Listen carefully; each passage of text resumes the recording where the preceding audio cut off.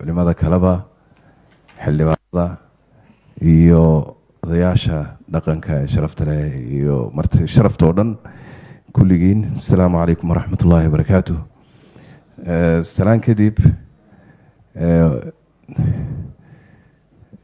shalay markii ay ii sheegeen culimadu waan la yar kaftamay marka sheekh bashiir iyo sheekh suldaan cabdilqani waxaan ku yidhi waayahan waxaan ka qeyb geli jiray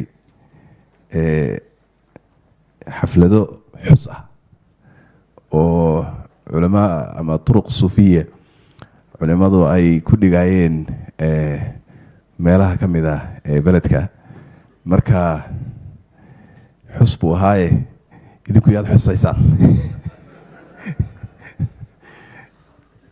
Marka runtii aad iyo aad baan marka koowaad u baarakeynayaa muctamarkan qiimaha badan. Sharafta leh ee ay culimadu isugu yimaadeen.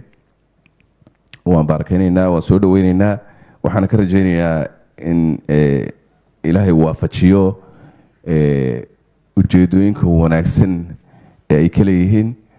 Wax wanaagsanna insha allah uu ka soo bixi doonaa. Intaas kadib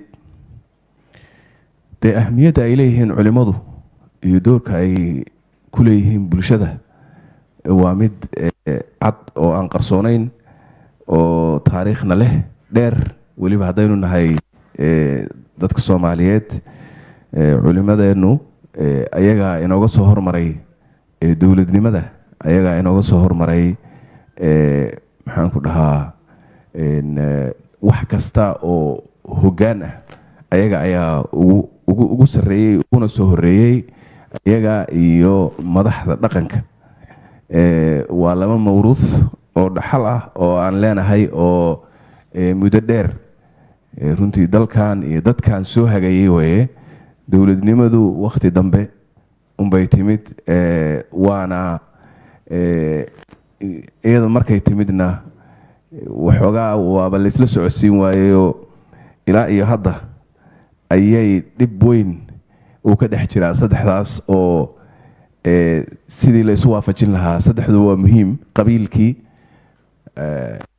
diintii islaamka oo culimada inta laga hoos baxo oo infisaam uu ka dhex dhaco iyo kala go culimada iyo dhallinyarada marka dambe dhallinyaradu waxaa weeye halaag bay ku dhacaan ummaddana way halaagaan. Marka in waxaan qabaa aniga la soo celiyo in culimada la ixtiraamo kutubtoodii la dhegeysto warkooda la dhegeysto dhallinyaradu ay ku xidhmaan culimada sida si ay ugu fasiraan dee diinta. Hadda sheekh cabdiqaadir wuxuu inoo akhriyay xadiiska nabiga alayh isalatu wasalaam oo ah dee xadiiskii firqa naajiya firqa naajiya in la fasiro u baahan yahay haddii kale canuga yarkaa dhallinyarada ahay culimada kuweena markii la yidhaahdo alaaatun wasabcuuna firqa bay u kala baxayaan. Wuxuu la soo aadaya waxaa weeye suufiyada waa axmediya waa saalixiya marka ugu horreysa horta kuwan uu ka tirinaya waa kuwa firqooyinka buu leeyahay. Waa kuwana kow ah. Horta kuwan ma yihiin kuwii. Kuwa la sheegaya xadiisku kuwuu tirinayo. Ma kuwana waa waa akhwaan waa salaf inaga oo nin baa wuxuu yihi waxaan ugu jeclahay. Xilli bay ahayd wuxuu iska jeclaa un inay dadku isu yimaadaan oo inay culimadu iskhilaafeen marka wuxuu yidhi anigu waxaan ugu jeclahay. Markaan ku daba tukado wiil yaroo aan labaatan sano gaarin oo bisinka la jaraya oo maxaan ku dhahaa aan ku daba tukado oday gaboobay oo maxaan ku dhahaa konton lixdan sano gaadhay oo bisinka siraysanaya faatixada. Markaan ku daba tukado aan ugu jeclahay marka waxay tusinaysaa buu yidhi in in ay xaalad caadi ay taagan tahay. Maxaa jira? Marka waxaa aad dabcan u badnayd in dadkii waaweynaa ee horena culimmadii horena ay bisinka in la siraysto ay u yaqaanaan wax oo fog ay fogo meel fog ay ka istaagaan.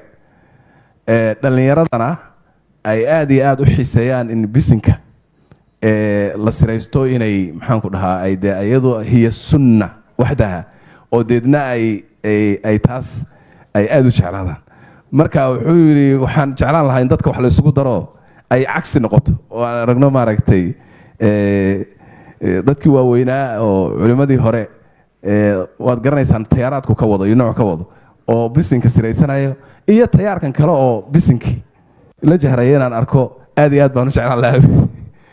Marka intaa micnaheedu waxaa weeyaan inay dadku wax isku darsadaan. Masaajiddu ayna u kala marnayn. Masaajiddu ayna u kala marnayn. Oo ay noqoto masaajidu wa ana almasaajida lilah oo sheekhi la arkaba dadka uu xor u yahay inuu ka wacdiyo. Culimmaduna ay iska ilaaliyaan mas'uuliyadda. Dadka horta dadka wacdinaya ee dadku ay dhegaysanayaan inay noqdaan dadkaas mustawaha leyan sheegay oo culimada ah haddii loo daayo culamaa salafiya oo dadkii culimada ahaa ee waxbartay ee hadda fadhiya hadday hoggaanka loo daayo oo ay dadku ku ay wax ka dhegaystaan. Culamaa aduruqna dadka culimada ah ee la yaqaano ee macruufka ah loo daayo ee maxaan ku dhahaa hoggaanka oo ayaga laga qaato waxbaba inagama xumaadeen. Laakiin qolo waliba waxaa laga yaabaa inay leeyihiin qof sidii la sheegay maxaan ku dhahaa waxoogaa ku tashaduday oo inuu leeyahay mutashadida ama qolo walba khulaad sibay u yeelan karaan marka haddii la yidhaahdo kaas sheekhaas sidaasa ayaa waan duulaa iyo intaan ka duulaa markuu yidhi wadaadkii xag ka duula iyo maxaan ku dhahaa hebelow isoo qabsa aniga. Haddii la yidhaahdo ku yaroo aniga anugeyga ayaa wuxuu yidhi maogtahay wuxuu igula dooday suufiyada. Sawaaba ma aha kuwa sidaas dhaha oo ninka yidhi waaman dhegeystay muxuu ahaa salmaan salmaan salmaan salmaan miya i don't know ninka yidhi waan dhegeystay buu yidhi marka ninka saas leh sidee buu sax ku yahay caqiidadiisu ma saxsanay sidaas maaha oo yeyihiin aan ku yidhi kuwaas suufiyada wayuu yidhi wuxuu aaminsan yahay marka suufiya oo dhan inuu noocaas yahay ayuu marka waxaan dhahay aab suufiyada oo dhan ma ahate waa nin county ninkaasaa saa yidhi nin unbaa saa yidhi waa nin marka suufiyadu sidaas ma wada aha waa inaad ogaateen inay suufiyadu saas ahayn. Oo saas may ahayn maxay yihiin suufiyadu marka in oo waxay noqotay dee aan uga sheekeeyo oo marka kitaab yaroo waxaan u keenay. Mar waxaan bal buuggan yar akhri si aad u fahamto ood maaragtay aadan aadan dhinac hal dhinac bahasha aadan usha ugu garaacin meeshan hal mar. Wuu yiraya afar iyo toban jir waay laakiin afar iyo toban jir oo waxaa waaye fahamsan waxyaabahan maarata wax badan. Marka xaqiiqatan waxaynu u baahannahay inaynu aada iyo aada uga digtoonaano arrimahaas. Maxaa jira? Waa arrin muhiimaddeeda leh.